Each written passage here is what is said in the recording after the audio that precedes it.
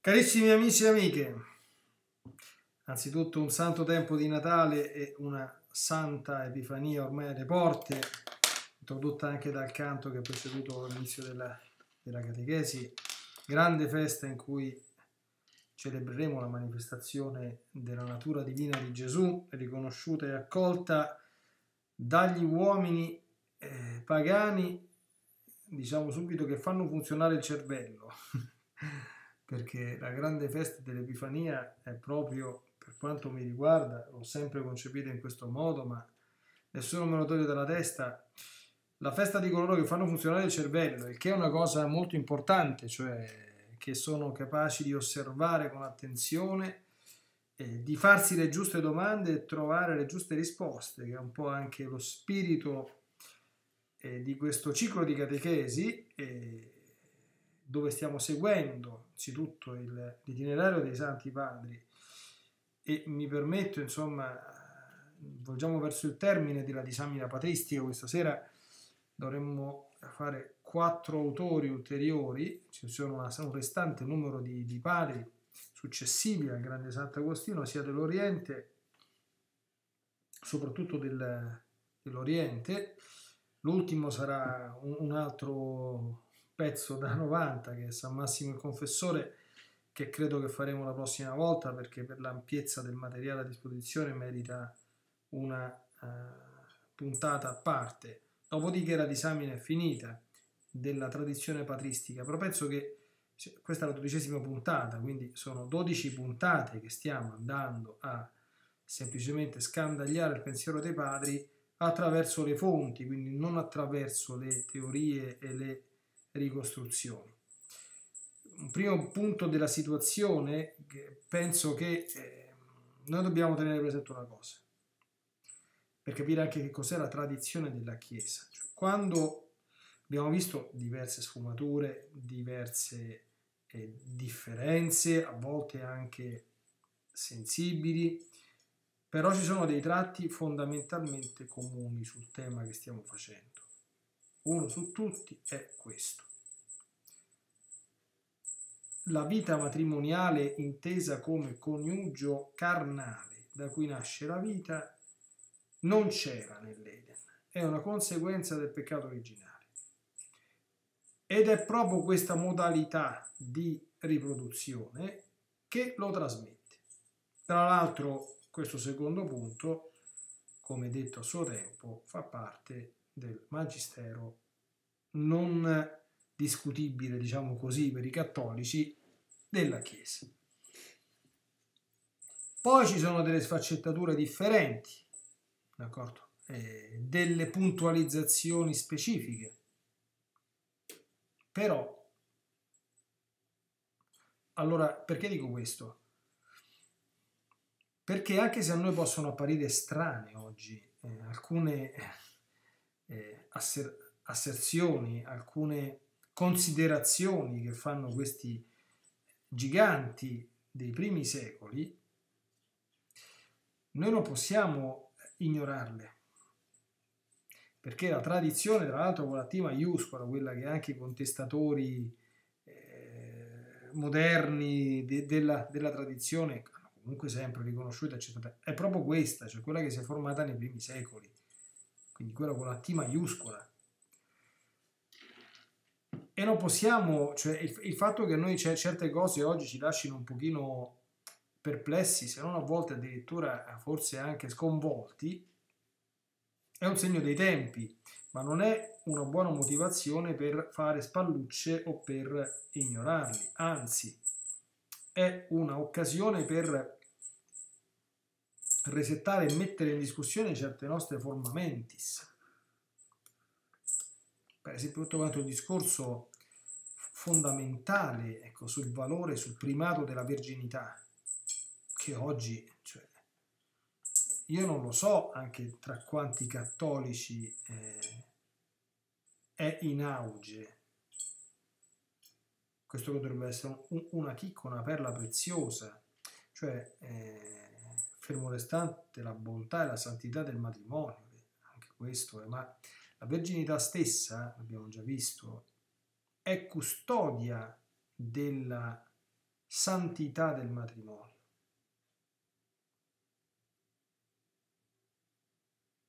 Questo no, non dimentichiamolo. Il matrimonio post peccato originale, il matrimonio post peccato originale certamente voluto da Dio, ma è voluto come matrimonio monogamico, cioè nella testa di Dio, nella volontà di Dio, c'è la possibilità di conoscere una sola donna per un solo uomo. Quindi noi dobbiamo entrare in una forma mentis che la mentalità ordinaria dei figli di Dio è una mentalità virginale. Poi, se ho come vocazione il matrimonio, volentieri, come dire, rinuncerò alla virginità, vedremo poi, eh, per adempiere la volontà stessa di Dio, perché non ci sono altri modi oggi con cui nascono gli esseri umani al mondo, comunque sia andata, d'accordo? Dentro e con, continuerò comunque a conservare un grande, un grande rispetto, una grande venerazione, sentiremo alcune cose questa sera, per chi la verginità la vive come scelta, cioè la verginità nella Chiesa dovrebbe essere portata in, palm, in pianta di mano. Mentre i, i vergini dovrebbero guardare con, dire, con occhio bello, con occhio di benevolenza, soprattutto le sante famiglie, le sante famiglie dovrebbero guardare appunto con questo occhio compiacente coloro che conservano la verginità, che anticipano la vita del cielo. Il matrimonio, in due parole, cioè, eh, è una realtà, questo lo dice Gesù nel Vangelo, circoscritta a questo mondo, necessaria, bella se santificata, mentre la verginità è una realtà che anticipa sulla terra il paradiso, perché il paradiso sono tutti quanti vergini, anche chi è sposato, il paradiso sarà vergine, non c'entra il connubio in cielo. Questo bisogna metterselo bene in testa.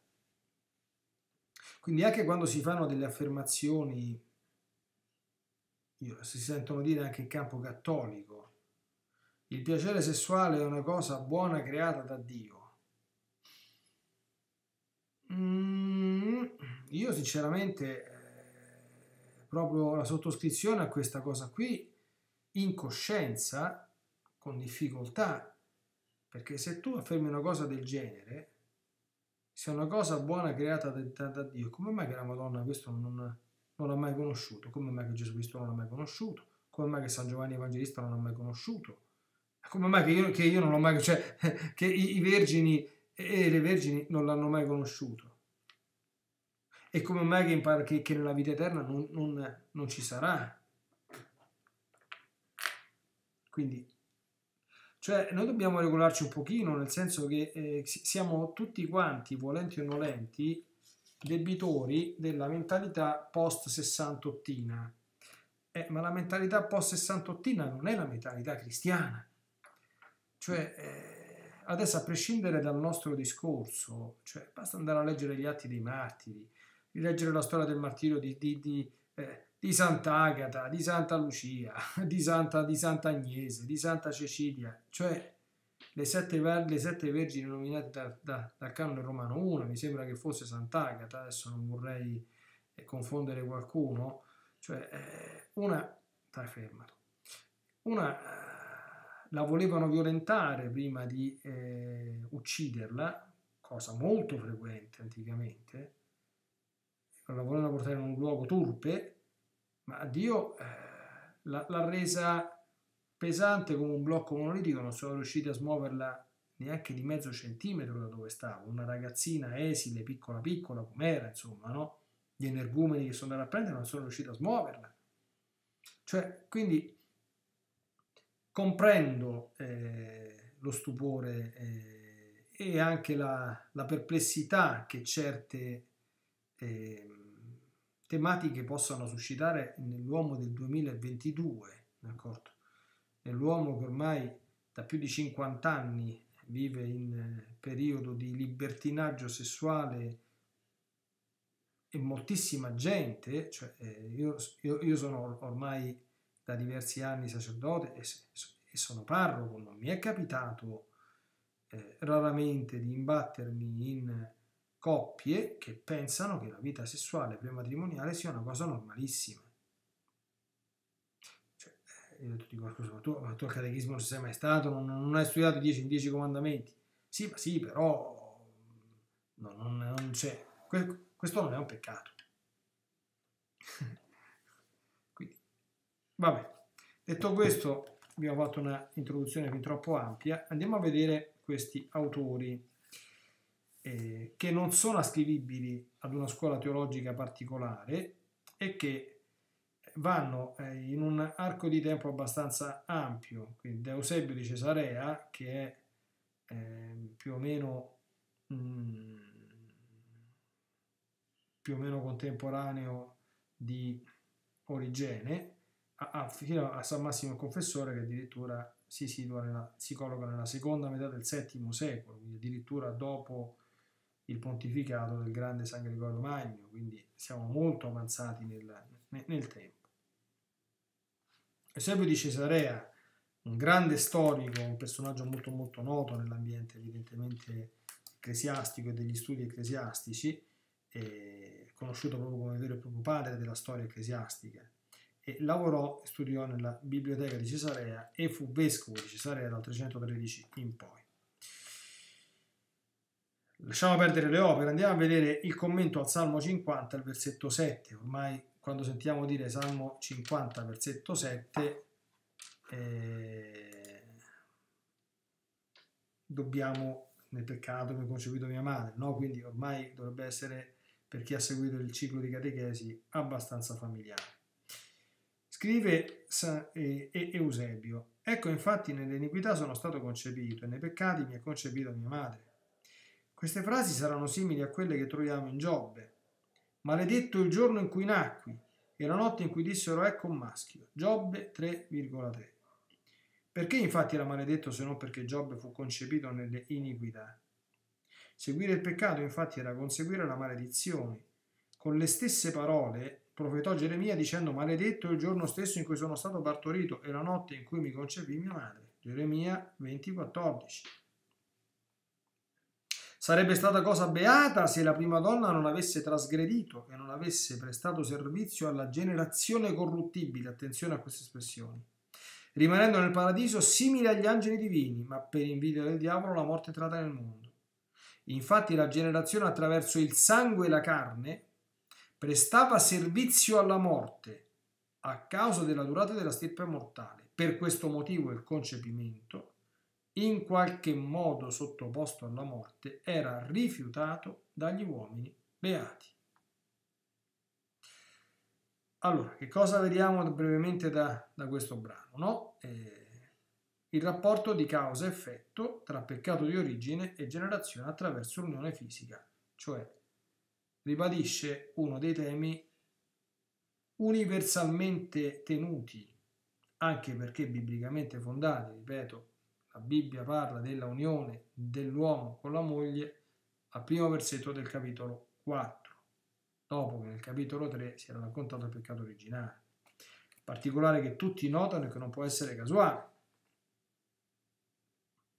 E afferma che gli uomini beati, cioè gli uomini prima della colpa d'origine, sarebbero rimasti simili agli angeli nel paradiso quindi in una condizione, quindi che evidentemente la condizione protologica è uguale a quella escatologica. Questo è un altro tema abbastanza ricorrente. Siccome in paradiso, come Gesù afferma in Luca 20, 34-36, nella, nella disputa con i Sadducei, non ci sono moglie e marito, nel paradiso terrestre non ci sono moglie e marito. C'è l'uomo e la donna con la U e con la D maiuscola. Sicuramente dice, si amavano prima del peccato originale? Eh, eh certo, Adamo quando, quando, la vede finalmente, ecco, osso della mia ossa, carne della mia carne, con aiuto simile a me, da me è stata tratta. Ma come si amavano? Capite? Io credo che al termine di questo viaggio credo che saremo edificati anche un pochino sull'amore, no? Come si amavano Adamo ed Eva prima del peccato d'origine? Questo non, non, non, non lo approfondisco, mi pare. È una domanda che possiamo porci noi. Si amavano o non si amavano? Vivevano come due estranei? Vivevano come due mummie? Che ne so? Vivevano come due... Eh, non si sa bene cosa? O si amavano? E come? Quindi c'è amore anche tra uomo e donna senza quella dimensione? Ci può essere, questo vale, pensiamo per esempio un discorso di questo genere, quanto potrebbe aiutare quei rarissimi giovani fidanzati che ancora sono intenzionati ad osservare la castità. Cioè, la castità non significa che io, come dire, eh, tarpo le ali all'amore, quindi ah, non ci possiamo amare fino a quando non ci sposeremo. Chi, chi, chi l'ha detta questa cosa? Chi, chi, è che ha detto questa stupidaggine? Chi l'ha detta? E magari le coppie che hanno difficoltà, come dire, ad aprirsi in maniera eh, molto molto ampia alla vita e quindi scelgono di non trasgredire la legge di Dio e quindi magari di applicare periodi infecondi. Chi l'ha detto che durante un periodo infecondo devono rimanere come due statue. Evidentemente anche dovendosi astenere dagli atti coniugali in senso stretto, se vogliono come dire, fare attenzione in modo lecito a, a, a controllare le nascite. Punto interrogativo. No? Capiamo anche le implicazioni di questo, di questo discorso. E questo nesso casuale è afferma, causale, non casuale, scusate, quindi causale, nesso di causa, eh, è affermato nei termini che la trasgressione dei progenitori ha dato inizio alla generazione attraverso il sangue e la carne. Attenzione, ricordiamo che quel sangue e la carne, nel Vangelo di San Giovanni c'è il plurale, c'è ton aimaton, i sangui, quindi il sangue significa come, come si riteneva liquido seminale e, e, e e, componente, diciamo così, eh, che, che, che, che, liquido seminale veniva anticamente chiamato sangue bianco, no? E mm, mm, materiale, diciamo, organico, che allora non si sapeva neanche bene che cosa fosse, dalla donna. No? Però questo tipo di operazione, ferma Eusebio, presta servizio alla morte. E la dimostrazione è che attraverso questo si trasmette appunto il peccato originale. Quindi da queste brevi considerazioni, anche se Eusebio non approfondisce il tema cosa sarebbe stato, eccetera, eccetera, ma si può affermare, afferma l'autore, io sono d'accordo con lui, che Eusebio, secondo Eusebio, la generazione attraverso il sangue e la carne non rientra nell'originario progetto di Dio. Abbiamo poi Basilio di Ancira, sacerdote, morto martire intorno al 363 sotto l'imperatore Giuliano l'Apostata. Anche di lui si analizza un solo brano che immediatamente leggo perché in questa sezione le fonti sono la cosa più importante. Tratto dal De vera virginitate integritate. I vergini, già ora come gli angeli, non prendono moglie né prendono mariti, ma sono uguali agli angeli sia per la virtù dell'anima, sia per l'incorruttibilità del corpo. E poiché nostro Signore volle che la verginità come seme di vita incorruttibile fosse mandata dalla terra al cielo, volendo già ora che i nostri corpi si esercitassero la bellezza dell'incorruttibilità attraverso l'incorruttibilità delle vergini, è evidente da ciò che, obbedendo in tutto alla legge, ripudiò solo il matrimonio. Bisognava infatti che egli, generato incorrotto anche secondo la carne da una vergine incorrotta, non sperimentasse neanche la corruzione connessa al matrimonio, né che egli, generato da una madre incorrotta, fosse sottoposto alla corruzione del corpo mediante il matrimonio, né che fosse ministro della nostra incorruttibilità secondo natura, uno nato per mezzo di nozze da uomini corrotti. Allora, qui capiamo, no? Eh, per questo che ho fatto delle premesse un pochino lunghe, l'incorruttibilità è connessa alla verginità, perché la verginità non è soltanto un fregio, diciamo, una virtù dell'anima. Per essere vergine devi avere la forza di rinunciare eh, ai piaceri veneri, il che fa parte della virtù morale della castità esercitata nella forma della continenza e perpetua. Ma questo produce anche una incorruttibilità del corpo, cioè il corpo non conosce il principio della corruzione, a differenza del matrimonio. Argomento fondamentale che usa la concezione e la nascita virginale di Gesù e il fatto che Gesù stesso non si è sposato.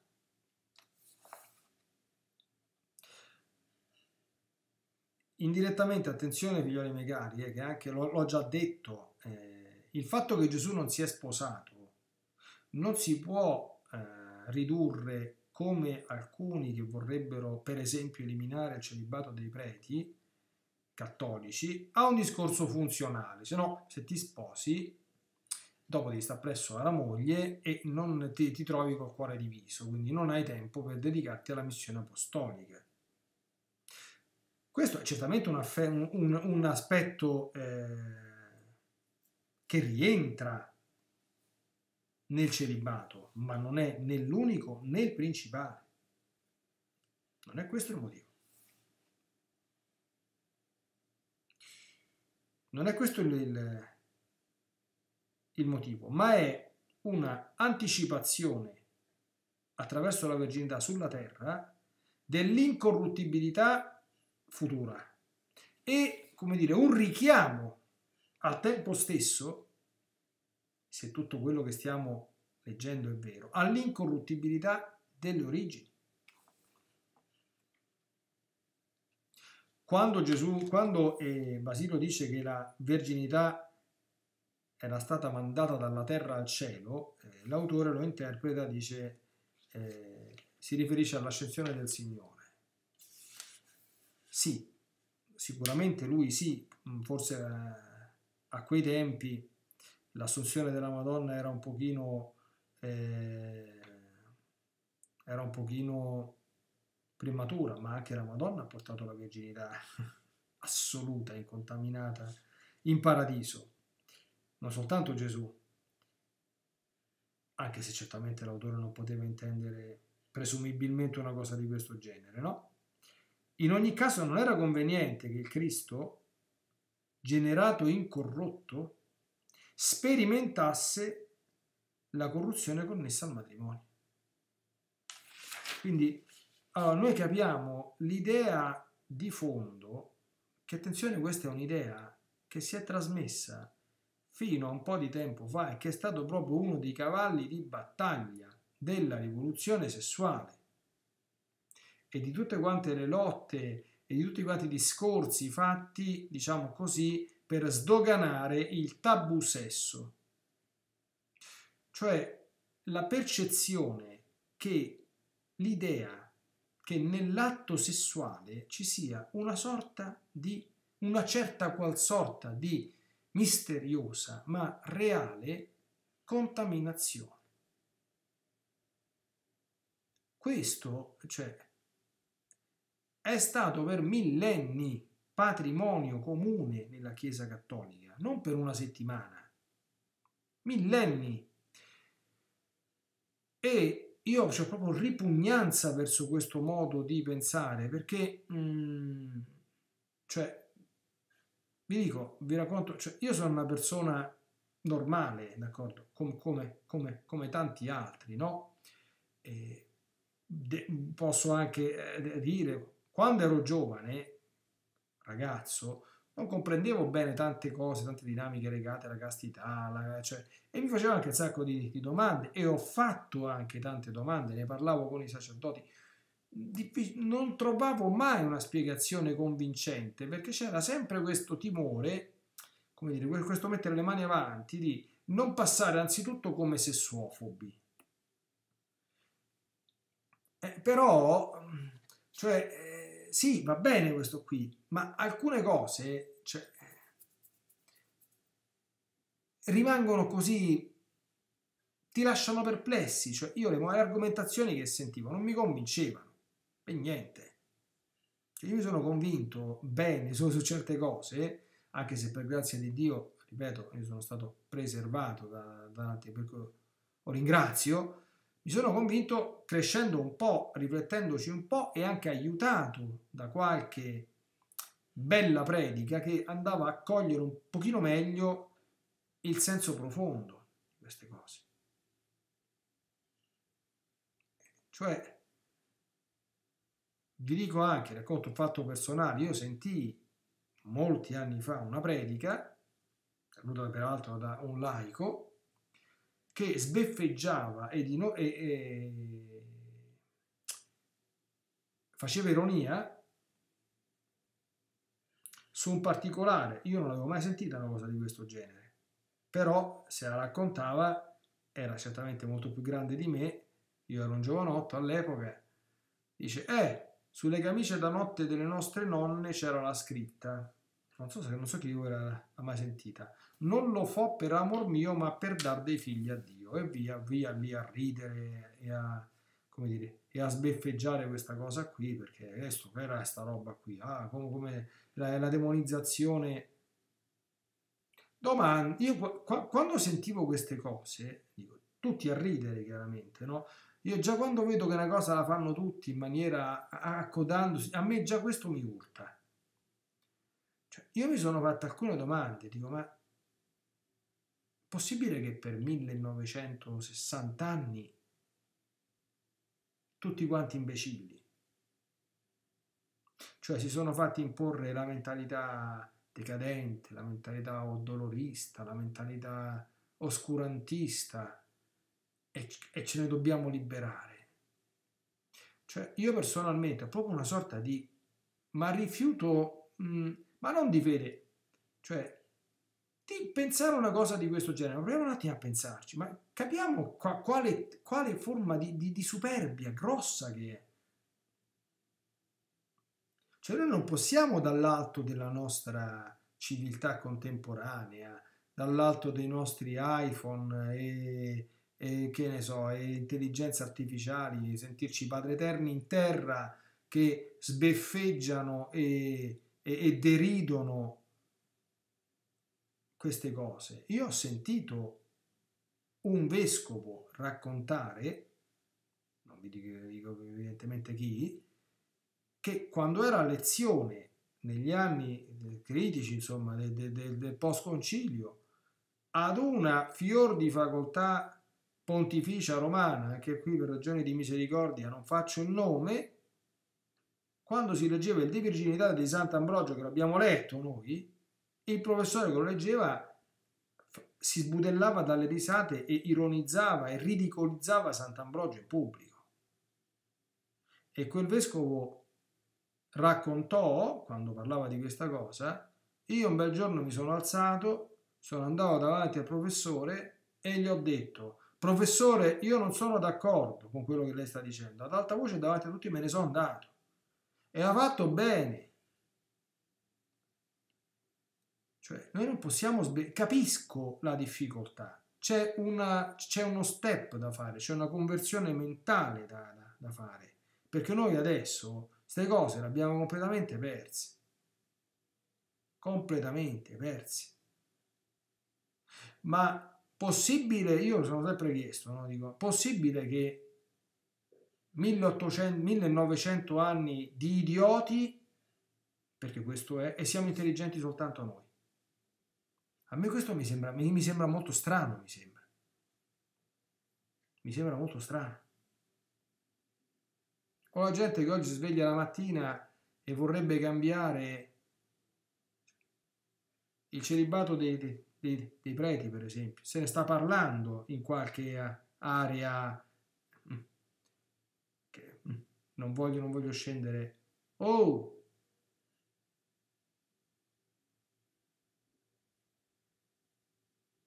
Perché noi adesso dall'alto del nostro, del nostro ventunesimo secolo possiamo, ma che fai? Noi dobbiamo metterci in ginocchio. dinanzi appunto alla tradizione con la T maiuscola ricevuta. Prima di fare un cambiamento devi stare molto, devi stare molto cauto, cioè devi stare attento, devi studiare, devi verificare, devi vedere il sentire comune, devi vedere... Non ti puoi mettere a fare, come dire, di testa tua. La Chiesa non funziona così. Noi abbiamo un, un, una, un deposito, un fidei, una tradizione con la T maiuscola che non si tocca. Nessuno può intervenire su queste cose qui, eh? meno che mai a cuor leggero.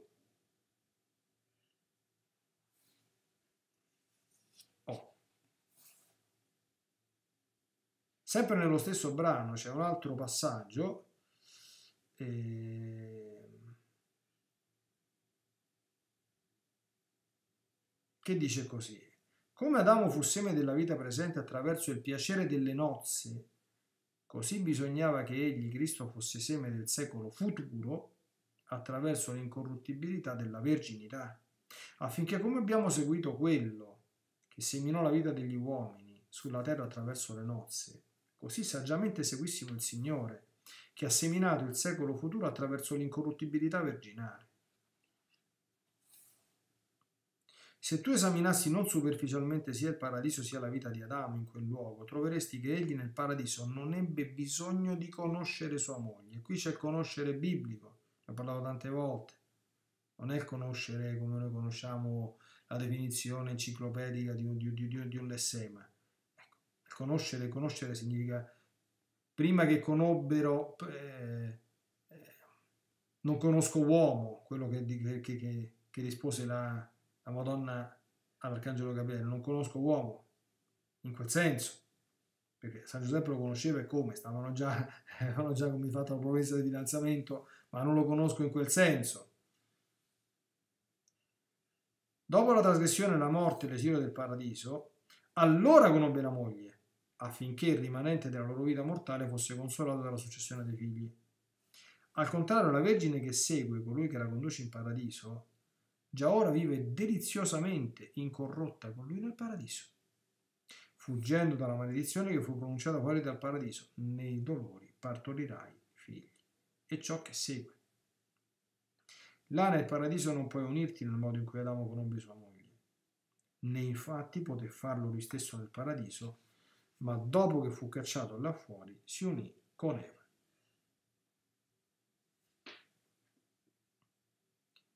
Quindi non c'è niente, diciamo così, che eh, se non qualche piccolo particolare che viene aggiunto a quanto già, già spiegato, no? Eh, è semplicemente un ribadire quanto già abbiamo visto. E quindi certamente anche eh, Basilio crede fermamente che l'unione fisica non faceva parte del progetto originario per la coppia, ma è sopraggiunta in conseguenza del primo peccato. Un altro autore ancora è Gennadio di Costantinopoli. Qui arriviamo al V secolo. Gennadio è morto a Costantinopoli nel 471 e fu, era abate di monastero e divenne patriarca di Costantinopoli nel 458. Il brano di Gennadio è il commento alla Genesi 3,8. Cito, dell'albero della conoscenza del bene e del male non mangiate. Il giorno che ne mangiaste morireste di morte.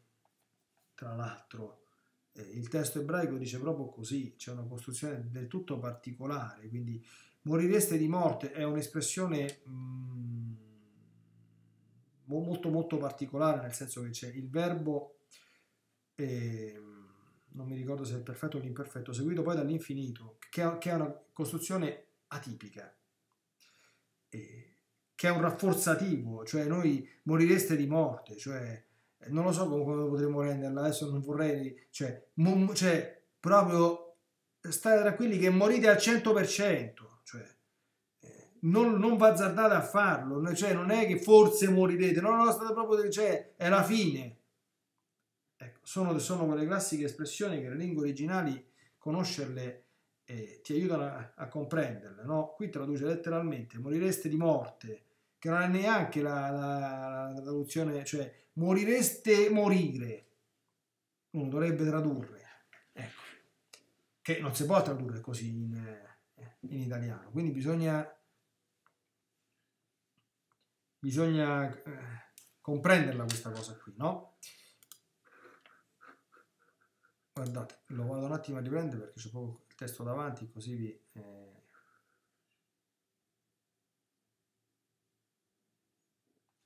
proprio questa espressione, no? Ecco. Eccolo qua. Allora, in ebraico si trova Kib Yom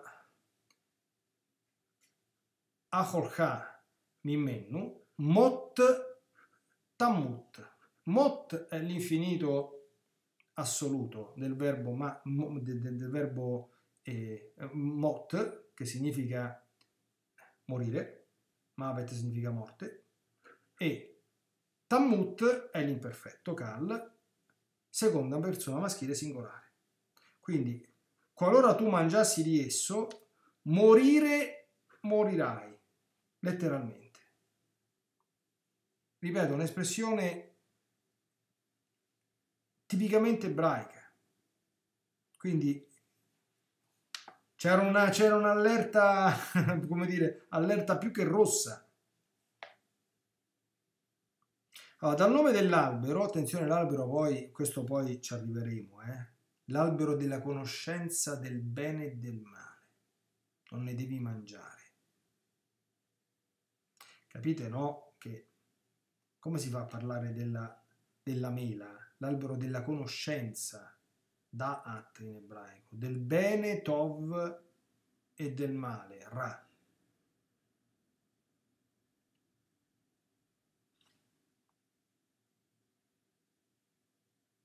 Dal nome dell'albero il serpente comprese dunque come essere intelligente ciò che sarebbe accaduto.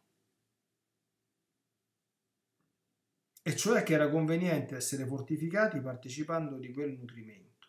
Questo infatti vuol dire l'apertura degli occhi, Avendo fortificato in loro stessi il naturale torpore, accesero in loro stessi il desiderio del piacevole discorso matrimoniale. La donna vide infatti, dicono che l'albero era buono da mangiare, gradevole agli occhi per vedere.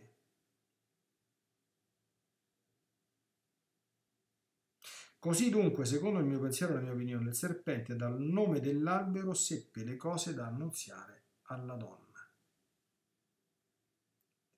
interessante lettura, anche se singolare.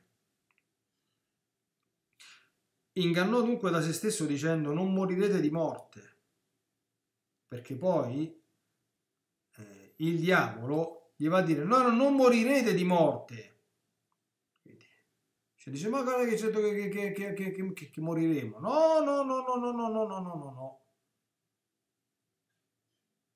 Ecco qui vado a prendere l'espressione. È esattamente la stessa, identica. Lo mot, infinito assoluto, temutun, imperfetto, stavolta seconda persona plurale, uguale. Mentendo, sarete come dei, diventereste come Dio, conoscendo bene il bene e il male. Vedete i, i padri, eh, come, come, traducevano bene. La traduzione della... Eh, la nuova traduzione della, della, della CEI si è adeguata. Nel 74 c'era scritto diventereste come Dio. No, no. Sarete, non sareste, cioè, sto vedendo adesso, c'è il verbo essere, ma non è sareste, è sarete come Dio conoscendo il bene e il male, adesso anche a questo dobbiamo pensare, sarete come Dio. Che significa essere come Dio? Cos'è che Dio fa e noi non facciamo? Cioè, non abbiamo la capacità ordinaria di, di fare, no? Infatti non divennero dei mangiando, ma al contrario di questi conobbero immediatamente loro stessi la passione della carne mortale, conobbero che per loro realmente era stabilita la sentenza di morte, conobbero l'inclinazione per la successione alla generazione che veniva dalla loro natura a causa della stimolazione alla generazione dei figli. Quindi abbiamo già notato questa singolarità del fatto che lui pensa che dal nome dell'albero eh, il serpente si è industriato e ha dire, architettato la tentazione dove voleva andare a parare con, con la tentazione. No? In ogni caso, per Gennardio, da questo testo che abbiamo letto, l'unione sessuale è evidente che è stata causata esplicitamente dal peccato d'origine. Perché appena succede questo fatto, si risveglia, come lui spiega, il naturale torpore e accresce in essi il desiderio del piacevole discorso matrimoniale, dopo aver mangiato. Non si pronuncia, cioè evidentemente, esplicitamente sulla questione se quest'unione facesse o non facesse parte eh, del progetto di Dio per l'uomo, anche se evidentemente in maniera indiretta si può lecitamente arguire e inferire. Oh. L'ultimo autore che vediamo oggi è Procopio di Gaza. Breve presentazione, come al solito. E stiamo nella seconda metà del V secolo, quindi siamo ancora più avanti, e morì nel 530 circa. Quindi siamo dopo Sant'Agostino, ricordiamo che Sant'Agostino è morto nel 430 dopo, dopo Cristo, sì, 354-430 dopo Cristo, sì. Lui è uno dei maggiori rappresentanti della scuola cristiana di Gaza e un grande esegeta. Di lui analizziamo due brani, gli ultimi di oggi. Il primo dato dal commento alla Genesi. Adamo ed Eva prima del peccato non avevano bisogno di vergognarsi, ciò che invece fecero avendo peccato, come soccorso per la verità del peccato. Come preludio del pudore, arrossirono per le parti del corpo che servono a generare figli, poiché il piacere che riguarda queste cose è il più acuto di tutti. E Dio non ritenne che la relazione coniugale dovesse essere irrazionale come gli animali. Attenzione, eh? ma stabilì una legge per il pudore. Per questo pensarono di coprirsi le parti del corpo vergognose con le foglie di fico, avendo così esperienza del congiungimento coniugale, ma avendo acquistato per loro stessi il pudore da Dio. Quindi, sulla base del dato di fatto che il libro della Genesi afferma che eh, prima del peccato Adamo ed Eva erano nudi, senza averne vergogna, mentre dopo eh, si affrettarono a coprire le parti del corpo, quelle appunto da cui nascono i figli, con le famose foglie di fico. Lui però sottolinea, e qui l'autore dà la sua lettura, che questa particolare avvenne perché il piacere che riguarda queste cose è il più acuto di tutti. Questa precisazione può, diciamo così, far ipotizzare l'interprete, quindi noi, che per questo autore il peccato di origine sia consistito nella ricerca del piacere connesso all'unione carnale. Quindi eh, ricorderemo, no? Questa è stata un'ipotesi tenuta per ora soltanto da Zenone questo sarebbe il secondo autore che si accoda. Non lo dice esplicitamente, certamente, però non ci si può vergognare per un fatto, per un piacere che sappiamo essere onesto, ma soltanto per un piacere che si sa essere disonesto. E se si risveglia subito dopo la colpa d'origine, con questa precisazione, quindi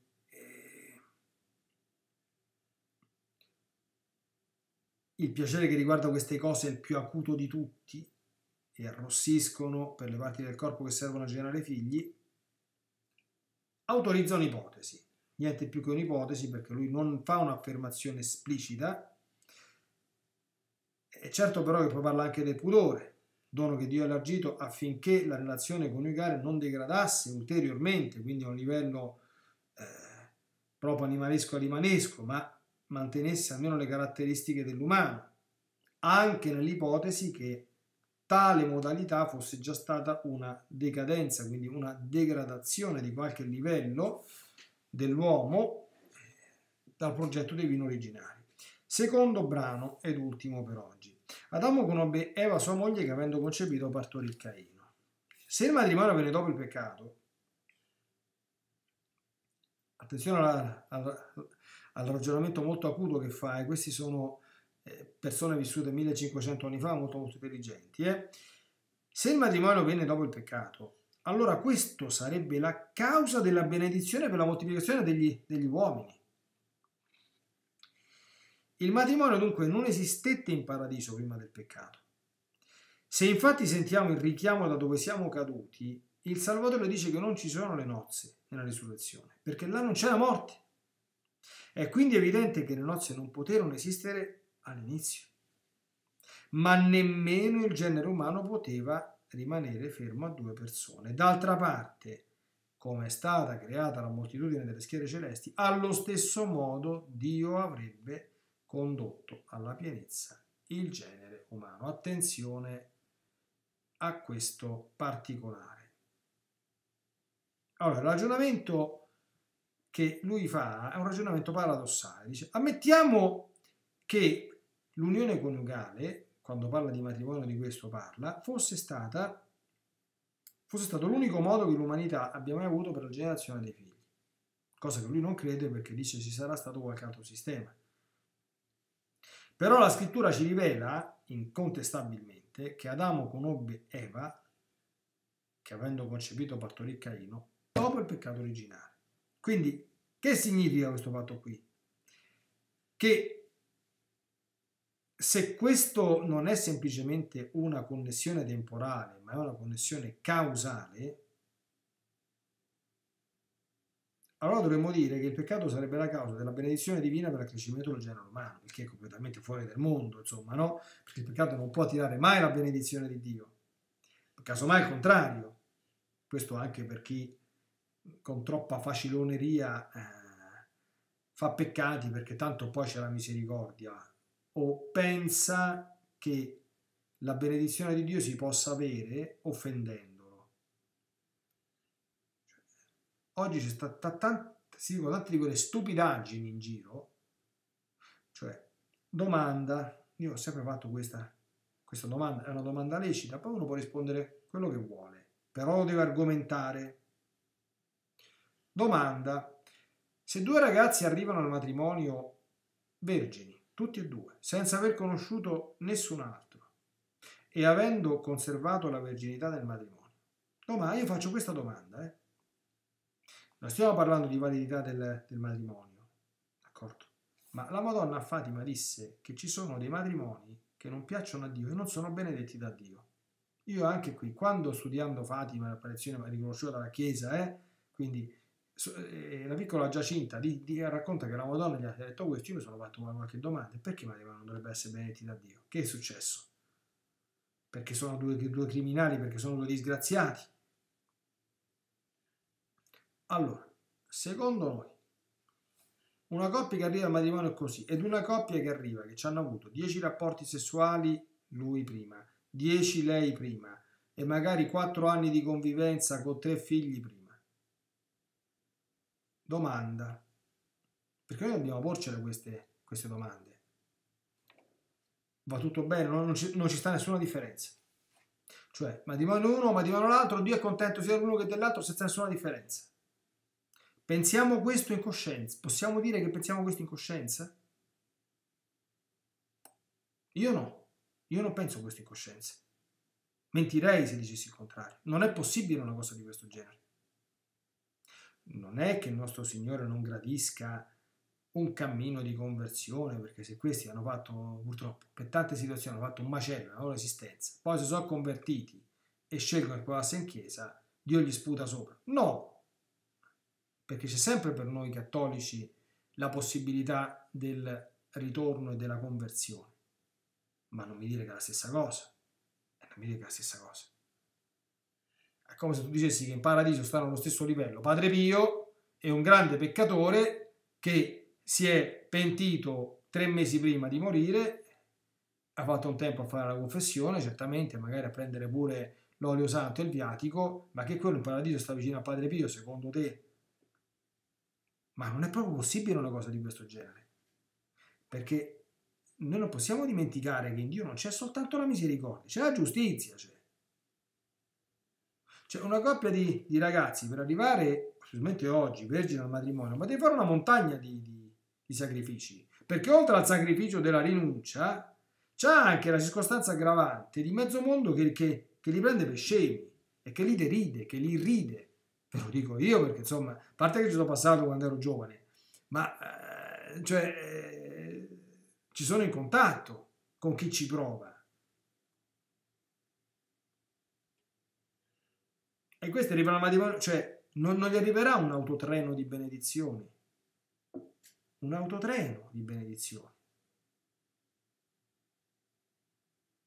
E se il Signore accetta comunque le nozze che, che, che, che hanno comunque delle, delle premesse differenti, manda su quella nozze le stesse benedizioni che manda su un, su un matrimonio a cui si è arrivati in queste condizioni? Io qualche dubbio ce l'ho. Poi, eh, io amo non fare, come dire, proclami o imporre le mie idee.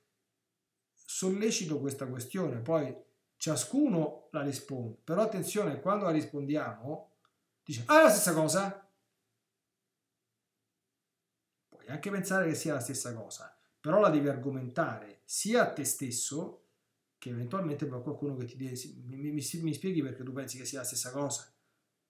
E non a fare discorsi sempre, ah perché Dio è misericordioso. Questo è l'argomento dei... Hm?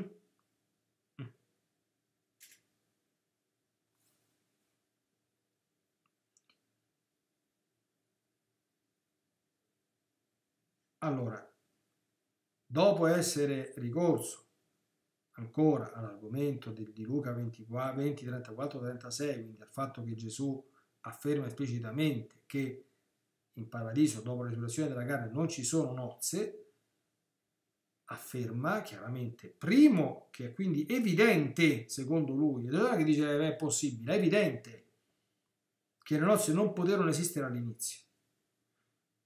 E non essendo pensabile però che il genere umano potesse limitarsi soltanto ai progenitori, cosa dice? Ma Dio ha creato migliaia di angeli, ma che c'aveva difficoltà a avere modalità di generazione alternative? No. E quindi Procopio, e qui abbiamo un altro step non molto frequente, ma cominciamo a essere un discreto numero.